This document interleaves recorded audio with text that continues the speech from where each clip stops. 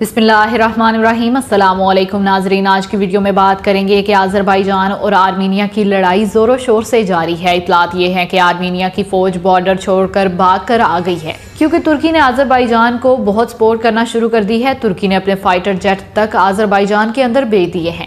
اس کے علاوہ رشیا نے ایک بہت بڑی سٹیٹمنٹ جاری کی ہے جو پاکستان اور ترکی دونوں کے لیے نقصان دہ ثابت ہو سکتی ہے۔ ناظرین، رشیا کی آرمی کیا کرنے والی ہے؟ آج کی اس ویڈیو میں ہم آپ کو بتائیں گے۔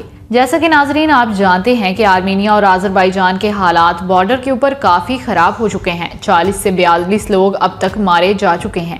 اور آرمینیا کی فوج بارڈر چھوڑ کر باغ چکی ہے۔ آرمینیا کے ٹینکوں کو کافی نقصان اٹھانا پڑا ہے۔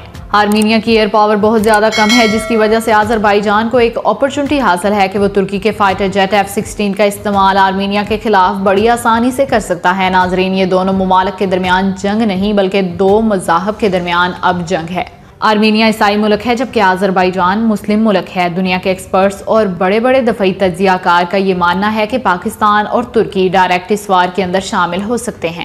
اور رشیا نے یہ کہا ہے کہ اگر مذہب کو لے کر آرمینیا اور آذربائیجان کی لڑائی ہوتی ہے اور مذہب کو لے کر دنیا کے دیگر ممالک ان دونوں ممالک کو سپورٹ کریں گے، تو رشیا ڈائریکٹ اسوار کے اندر انٹرفیئر کرے گا۔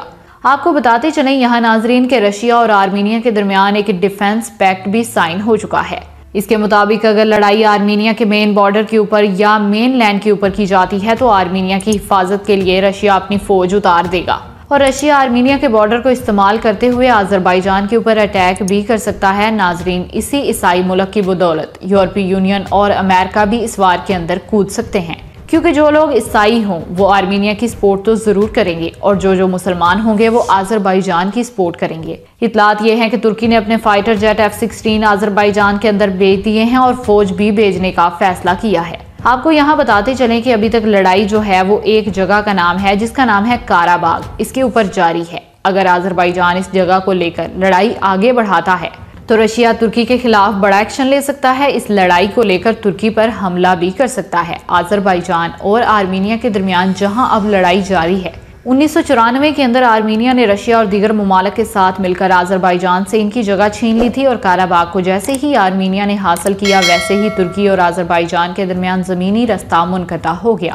اب ترکی اور آذربائیجان دونوں ہی چاہتے ہیں کہ کسی نہ کسی طریقے سے اٹیک کر کے آرمینیا پر کارا باغ کی جگہ دوبارہ آذربائیجان کو لے کر دی جائے۔